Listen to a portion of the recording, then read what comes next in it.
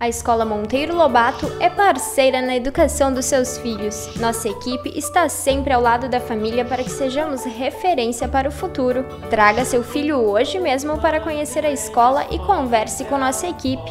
Turnos pela manhã e à tarde, além de educação integral. Escola Monteiro Lobato, educando para a vida.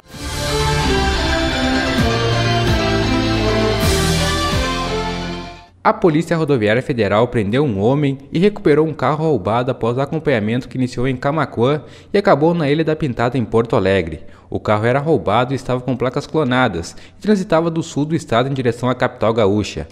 Policiais rodoviários federais realizavam um policiamento ostensivo na BR-116 em Camacuã quando viram um veículo Toyota Corolla sendo conduzido de forma rápida e perigosa. Ao receber ordem de parada, o motorista do veículo iniciou fuga em altíssima velocidade. Em determinados trechos, os policiais rodoviários federais calculam que o criminoso andou próximo aos 200 km por hora. Durante a tentativa de fuga, o motorista colidiu levemente seu veículo em ônibus e entrou na Ilha da Pintada em Porto Alegre, onde, com apoio da equipe de Eldorado do Sul, foi abordado e preso. Conforme os policiais, o indivíduo confessou que havia ganho 500 reais para trazer o carro para Porto Alegre. Dentro do Corolla ainda foram encontradas placas com numerais de outros veículos. Após analisar o chassi do veículo, constatou-se que era clonado.